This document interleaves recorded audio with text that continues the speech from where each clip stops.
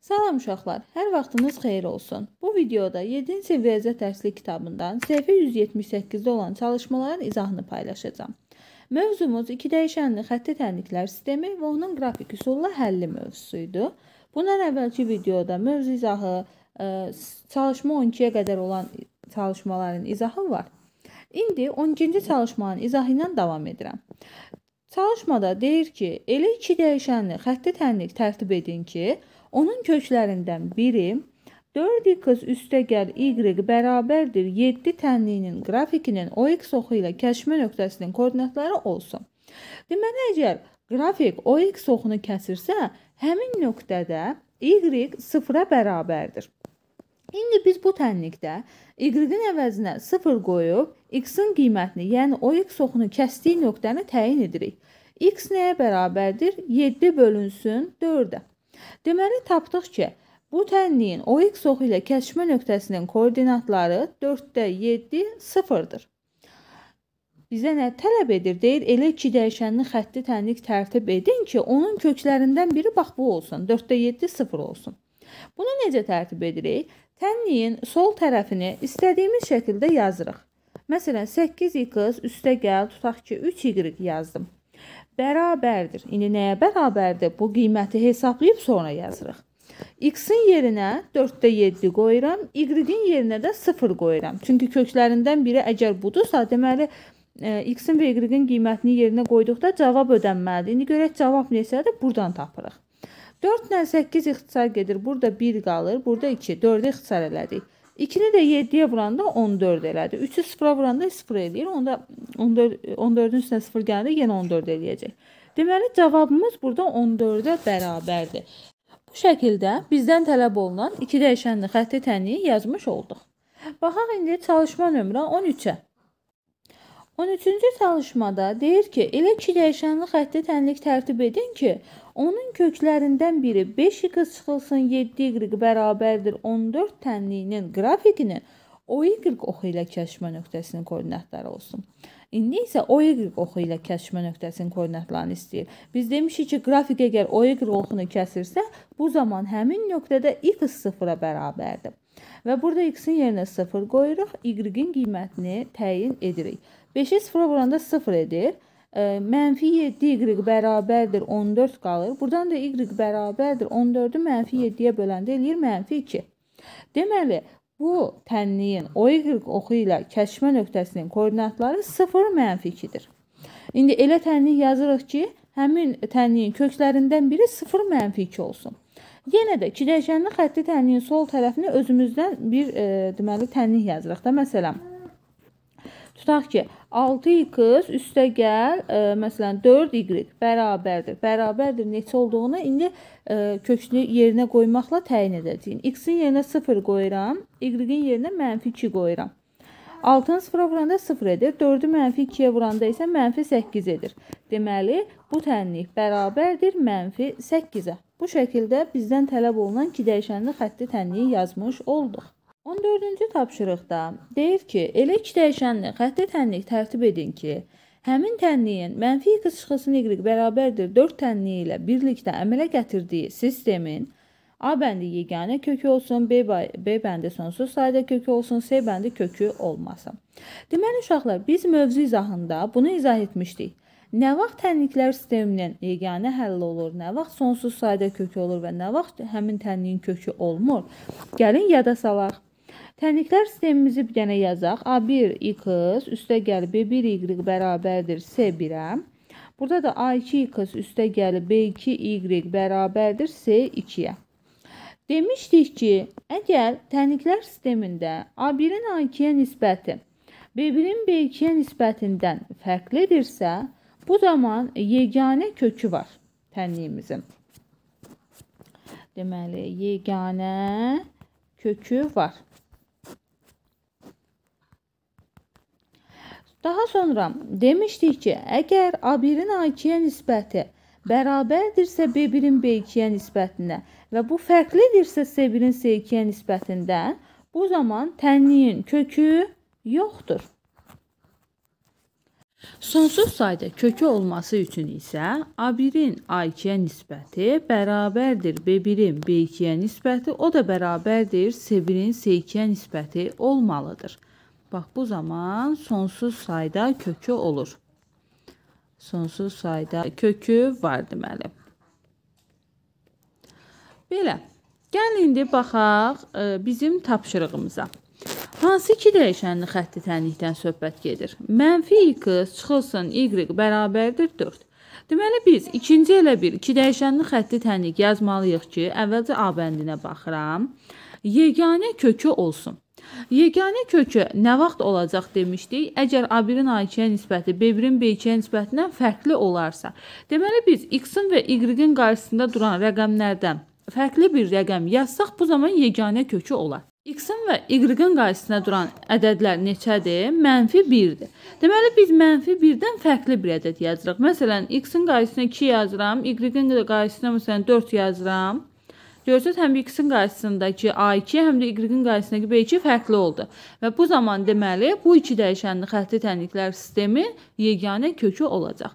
İndi B bəndi üçün yazıram. B bəndində bizə nə deyir? Sonsuz sayda kökü olsun. Birinci iki dəyişənli xətti tənliyimizi yazdıq. İndi sonsuz sayda kökü olması üçün şərtimiz nə idi? A1, A1-in A2-yə nisbəti B1-in B2-yə nisbətinə, o da C1-in C2-yə nisbətinə bərabər olmalıdır. İndi biz burada elə ədədlər yazırıq ki, bu nisbətlər bərabər olsun. Məsələn, yazıram burada 2x çıxılsın 2y, e, daha doğrusu üstəgəl yazmalıyam, nisbətin eyni olmağı üçün bərabərdir 8. Mənfi 8. İndi baxın, A1 x-in qarşısında duran ədəd, bax birincidə. Burada nədir? Mənfi 1. Burada nədir? A2 2. Burada B1 nədir? Mənfi 1. B2 nədir? Burada 2. Bu da bərabərdir. C1 nədir? 4. C2 nədir? Mənfi 8. 4 ilə 8-i ixtisarləsəm, bu da 2-də 1-dir. Görürsünüz, hər biri mənfi 2-də 1 oldu. Bu nisbətlər bir-birinə bərabər olduğuna görə, deməli, bu tənliyin sonsuz sayda həlli olacaq. İndi C bəndinə baxaq. C bəndində bəs nə deyir? Kökü olmasın deyir. Birinci tənliyimizi yenə olduğu kimi saxlayıram. Mənfi x çıxılsın y bərabərdir 4. İndi kökü olmamağın şərti nə idi? Biz burada nə demişdik?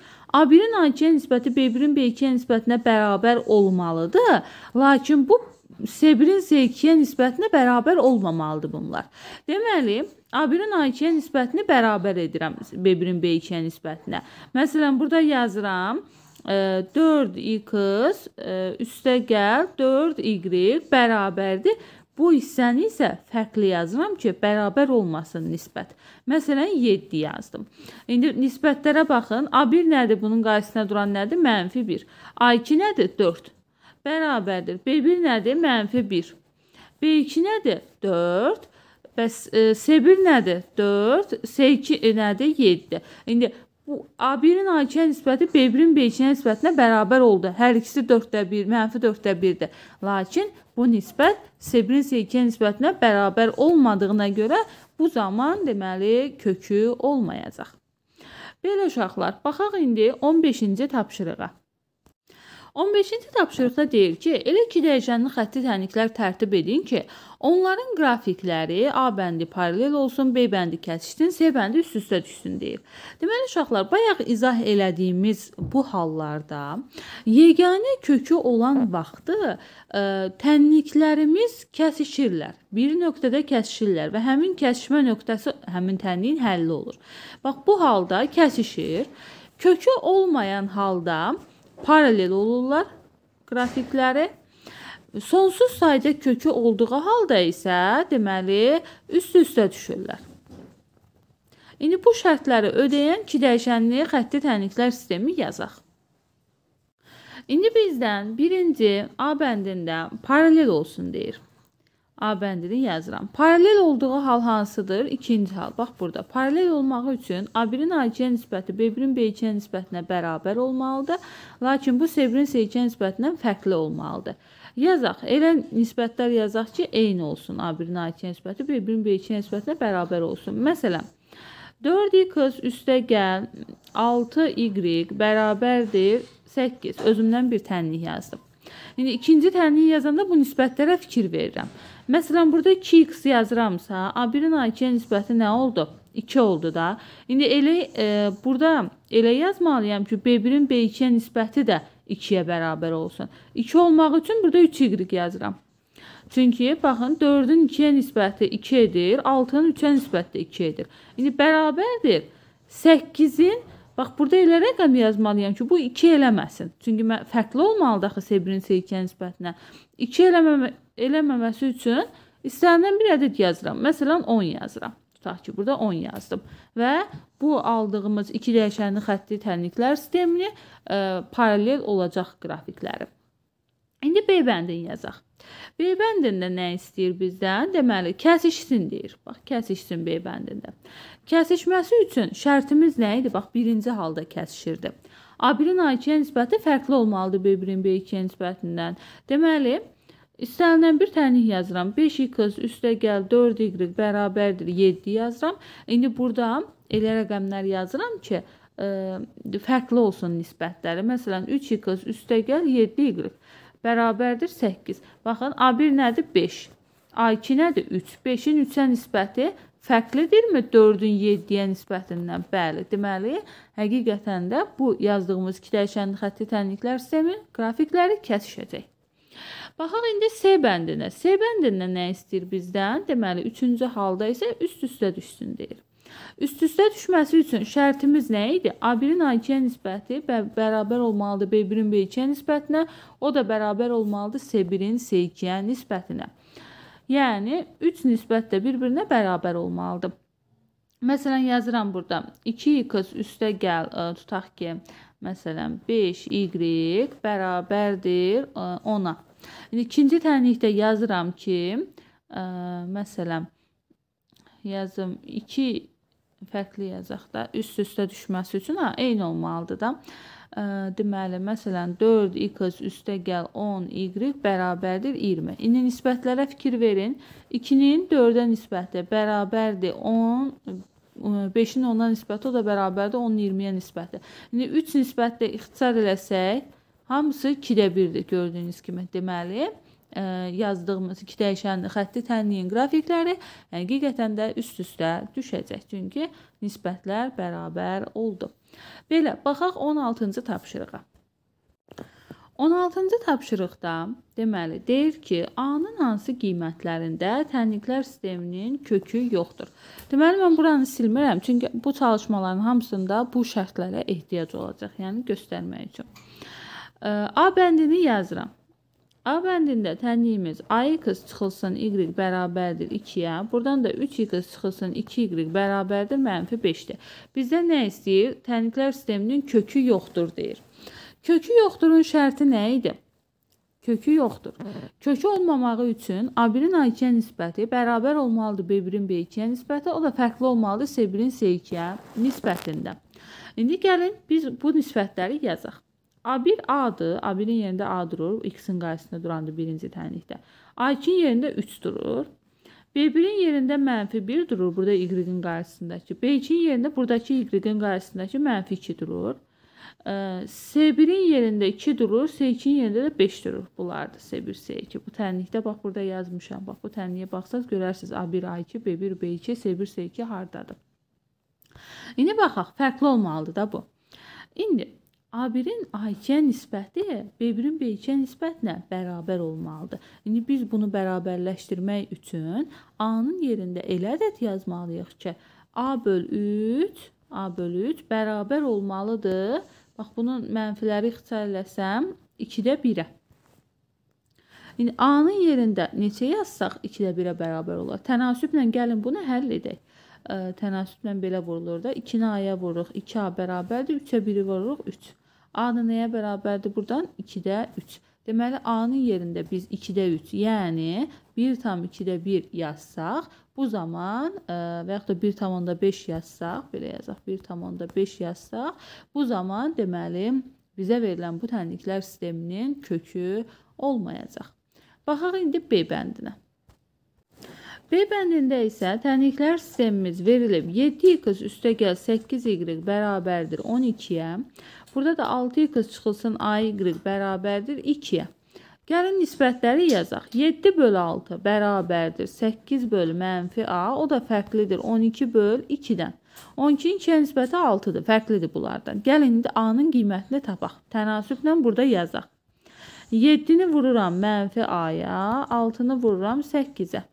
Buradan e, mənfi 7a bərabərdir 48-ə, a da bərabərdir mənfi 48 böl 7-yə. 48-i də 7-yə böləndə mənfi 6 tam 7-də 6 qalır. Deməli, A-nın qiyməti mənfi 6 tam 7, 7-də 6 olarsa, bu zaman bu tənliklər sisteminin kökü olmayacaq. Baxaq C bəndinə. C bəndində verilibdir tənliklər sistemimiz 5x üstə gəl AY bərabərdir mənfi 6, 9x çıxılsın 18y bərabərdir 20. Nisbətləri yazaq. A1-in 5-in 9-a nisbəti bərabərdir. A-nın mənfi 18-ə nisbəti, o da fərqlidir. Mənfi 6-nın 20-yə nisbətindən. İndi bu ikisindən tənasüblə A-nın qiymətini tapırıq. 9A bərabərdir 5 vurulsun mənfi 18-ə. 9 ilə 18 ixtisar gedir. Burada 2 qalır. A da nəyə bərabərdir? 5-i mənfi 2-yə vuranda eləyir mənfi 10. Deməli, A-nın mənfi 10 qiymətində bu tənliklər sisteminin kökü olmayacaq. Baxaq C bəndinə. C bəndində isə təniklər sistemimiz deməli verilibdir. 9y çıxılsın 3x bərabərdir 0, a-x çıxılsın 8y bərabərdir mənfi 10. Nisbətləri yazaq. 9-un a-ya nisbəti bərabərdir mənfi 3-ün mənfi 8-ə nisbəti. O da fərqlidir 0-ın mənfi 10-a nisbətinə. İndi bu ikisi üçün tənasübü yazırıq. Mənfi 3a bərabərdir 9 vurulsun mənfi 8-ə. Burada deməli A nəyə bərabərdir? 9 vurulsun mənfi 8 bölünsün mənfi 3-ə. 3 ilə 9 ixtisar gedir. Burada 1 qalır, burada 3. Mənfilər də ixtisar gedir. 3-ü də 8-ə vuranda 24. Deməli A-nın 24 qiymətində bizə verilmiş bu tənliklər sisteminin kökü olmayacaq. Baxaq tapşırıq nömrə 17-yə. 17-ci tapşırıqda isə bizə deyir K-nın hansı qiymətlərində tənliklər sisteminin sonsuz sayda kökü var. Sonsuz sayda kökü olmağı üçün demişdik ki, bu nisbətlərin üçü də bir-birinə bərabər olmalıdır. Gəlin indi tənliklərdə bu nisbətləri bərabərləşdirək. A bəndində tənliyimiz verilir. 5x üstə gəl 3y bərabərdir 2-yə. 10x çıxılsın ky bərabərdir 4-ə. İndi 5-in 10-a nisbəti bərabərdir 3-ün mənfi k-yə nisbəti, o da bərabərdir 2-nin 4-ə nisbətinə. Fikir verin, bunları ixtisarləsək, ə, A1-in A2-yə nisbəti S1-in S2-yə nisbətinə bərabər oldu. Hər ikisi 2-də 1-dir. Bəs bu nisbəti də indi biz bərabərləşdirməliyik. Fərqi yoxdur, ya bu ikisindən, ya da bu ikisindən. Onsuz da 2-də 1-dir ikisi də. Tənasüblə K-nın qiymətini tapırıq. Mənfi K bərabərdir 3-ü 2-yə vuranda 6-ya. K da bərabərdir mənfi 6-ya. Deməli, K-nın mənfi 6 qiymətində bu tənliklər sisteminin sonsuz sayda kökü olacaq. Baxaq B bəndinə. B bəndində elə bura baxıb yazıram nisbətləri. 5-də 2-nin e, x-in qarşısında duran 5-də 2-nin k-ya nisbəti bərabərdir 7-də 1-in 28-də 1-ə nisbətinə, o da bərabərdir 3-ün 4-də 3-ə nisbətinə. Burada baxın uşaqlar, ixtisar eləsək, e, bu hər ikisi nisbət neçədir? 4-dür. Yəni ümumilikdə 4-ə bərabər olmalıdır. Bax bu 4-dür. Hər ikisini ixtisar eləsək, e, deməli bu nisbət 4-ə bərabər olmalıdır ki, sonsuz sayda kökü olsun. İndi e, onu da 5-i aşağı salsaq, məxrəcə salsaq 5 bölünsün 2 bölünsün 5k bərabər olmalıdır 4-ə.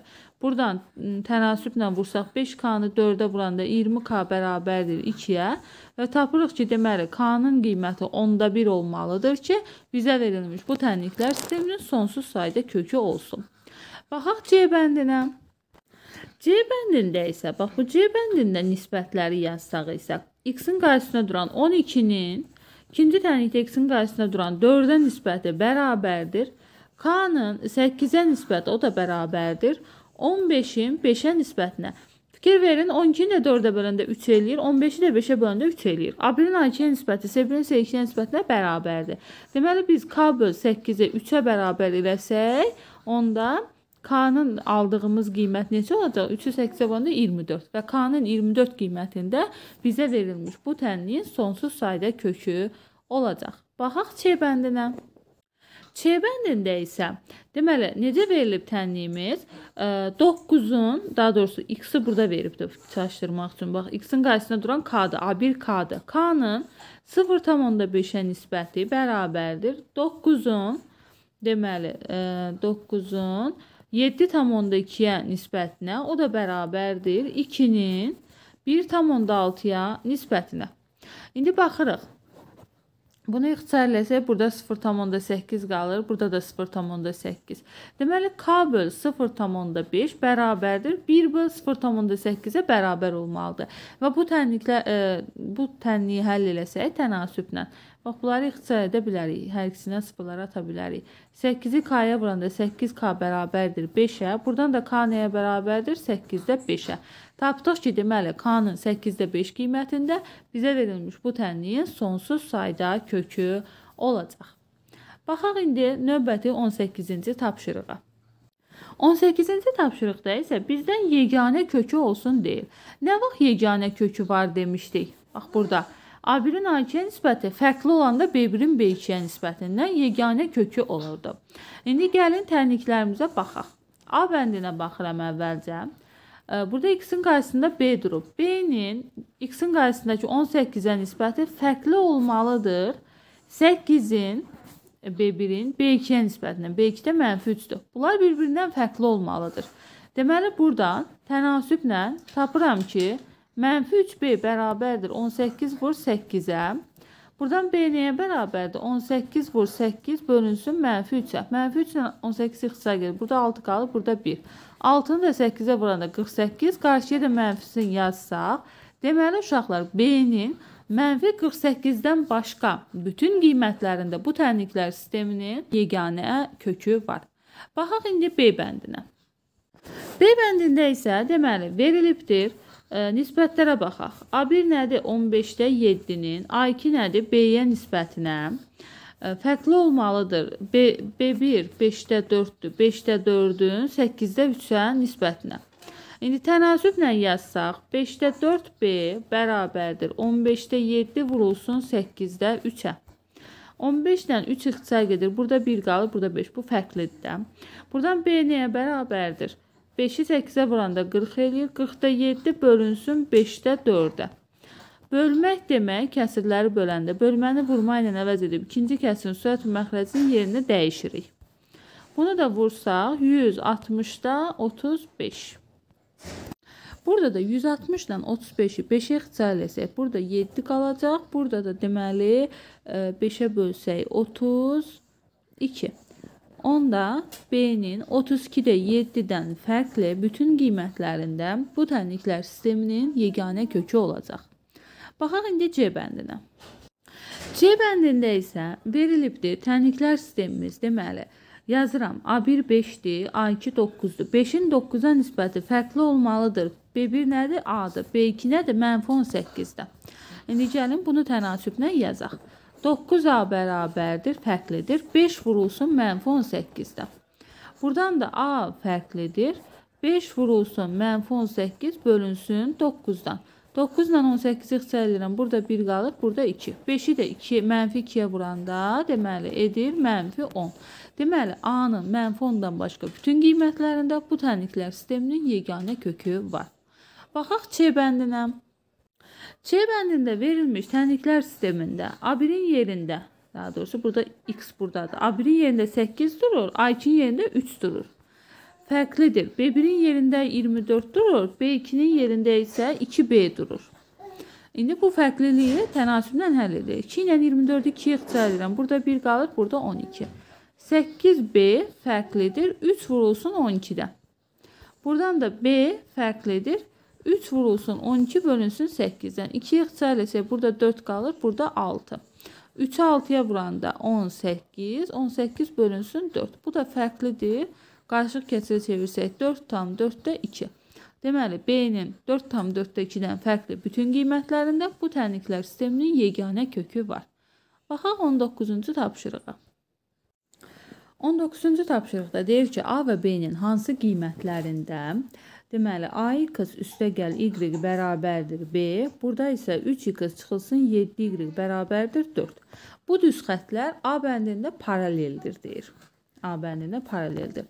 Paralel olması şərti nə idi? Buradan baxaq. Paralel olmağı üçün A1-in A2-yə nisbəti B1-in B2-yə nisbətinə bərabər olmalıdır. O da fərqli olmalıdır C1-in C2-yə nisbətindən.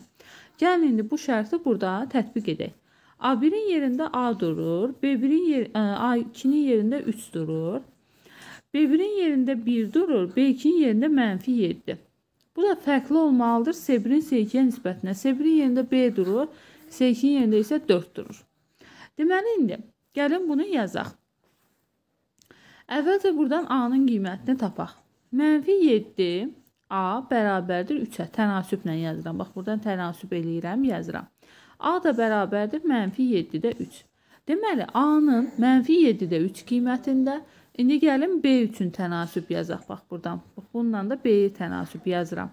Mənfi 7B fərqli olmalıdır 4-dən. B də fərqli olmalıdır mənfi 7-də 4-dən.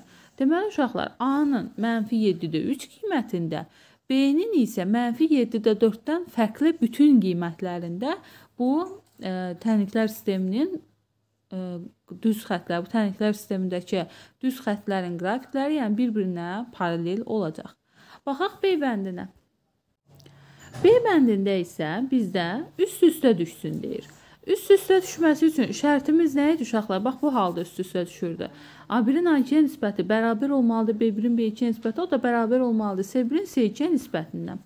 Gəlin bu şərti burada tətbiq edək. A1-in yerində A durur, B1-in yerində 3 durur. Bərabər olmalıdır 1-in mənfi 7-yə, o da bərabər olmalıdır B-nin 4-ə nisbətinə. İndi bu ikisi üçün yenə də tənasübü yazırıq. Bayaq yazdığımız tənasübdür. Mənfi 7 A bərabərdir 3-ə, A bərabərdir mənfi 7-də 3-ə. İndi bu ikisi üçün tənasüb yazırıq. Buradan da B-ni tapırıq. Mənfi 7-də B bərabərdir. Mənfi 7B bərabərdir 4-də. B də bərabərdir mənfi 7-də 4-də. Deməli, uşaqlar, burada A-nın qiyməti mənfi 7-də 3, B-nin qiyməti mənfi 7-də 4 olmalıdır ki, bizə verilmiş bu tənliklər sisteminin qrafiki üst-üstə düşsün. Baxaq C bəndinə. C bəndində isə şərtimiz kəsişməyi olmasıdır. Kəsişməsi üçün biz nə nə tətbiq eləməliyik? A1-in A2-yə nisbəti fərqli olmalıdır B1-in B2-yə nisbətindən. Gəlin yazaq. A1-in yerində A durur, B1-in yerində 3, daha doğrusu A1-in yerində A durur, A2-nin yerində 3 durur, B1-in yerində 1 durur, B2-nin yerində mənfi 7. Fərqli olmalıdır bu nisbətlər. Buradan tənasüblə yazsaq, mənfi 7 A fərqli olmalıdır 3-dən, A da fərqli olmalıdır mənfi 7-də 3-dən. Deməli, bizə verilmiş bu tənliklər sisteminin kəsişməsi üçün A mənfi 7-də 3-dən fərqli bütün qiymətləri ala bilər. Baxaq 20-ci tapşırığa. 20-ci tapşırıqda isə deyir ki, m-in hansı qiymətində 7x üstə gəl my bərabərdir 5, 28 mx üstə gəl y bərabərdir 10. Tənliklər sisteminin A bəndində kökü yoxdur deyir. Yenə də şərtlərimizə baxırıq. Kökü yoxdur. Nə vaxt tərniklər sistemimizin kökü yox idi? Bax, bu şərt ödəndikdə. Gəlin bu şərti tətbiq edək.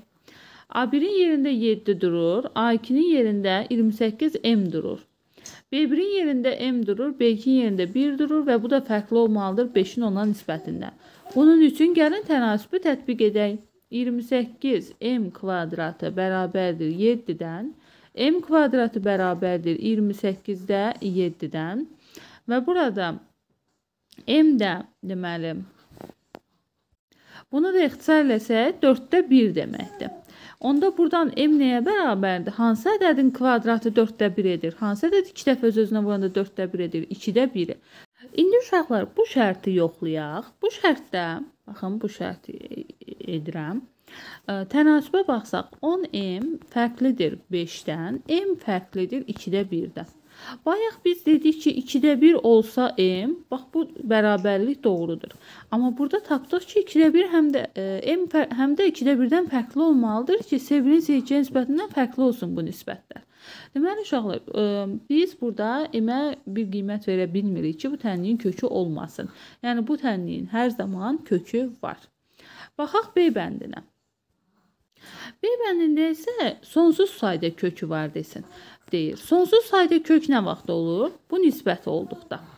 Yəni hər üç nisbət bir-birinə bərabər olduqda.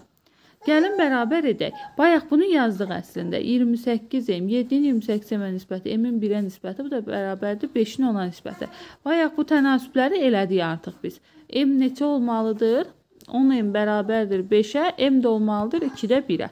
Biz indi bu tənasübü də eləsək, bayaq elədik A bəndində. Buradan da m-i 2-də 1 alırıq.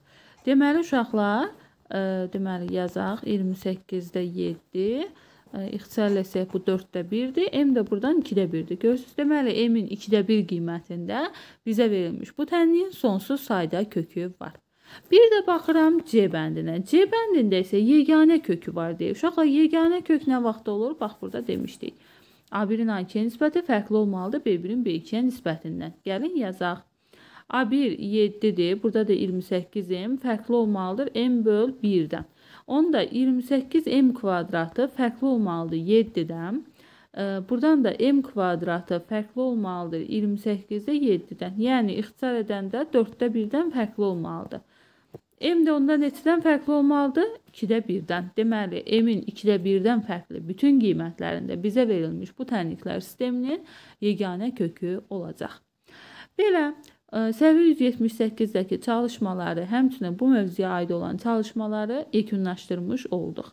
Bu videomuz da bu qədər. Sağ olun.